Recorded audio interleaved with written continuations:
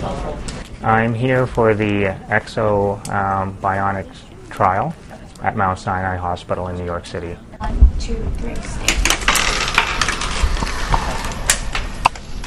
I'm paralyzed from the, the T10 level downward, so not only that I cannot walk, um, all my bodily functions, um, you know, digestive, bladder, bowel, um, are not functional from my injury. So shift to the left and step right.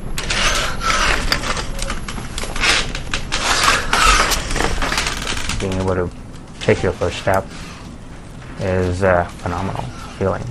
Um, I don't know how to describe it in words, really. Um, I think uh, I think everybody noticed that you know they can see a big smile on my face, uh, a little bit of uh, resistance because I was nervous about falling. You know, I don't think I've ever stood up, you know, without using my arms to help myself up. In this case, kind of fought with the machine on that. Being upright, it's uh, mentally, emotionally exciting to be up, standing up, being able to see people eye, uh, at an eye level, rather than to always look up and have everybody look down at me. I'm an architect. Um, it was a work injury, uh, I guess a crane accident in New York City. Um, I was the architect for the new Goldman Sachs World Headquarters in Lower Manhattan.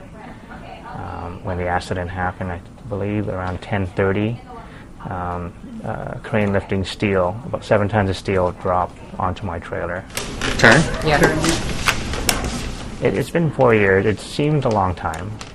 Um, it's you know I do get frustrated sometimes being in a chair, trying to maneuver, um, not having my hands free because I need my hands to to push. When my children wanted to go to the park and have me have me push them on the swing, I couldn't do it. I couldn't bring my wheelchair over the you know the the sand and things like that.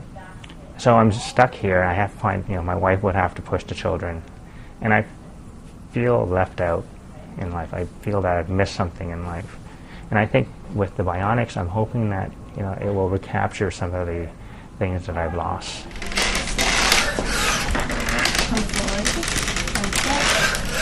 So we're getting on the way.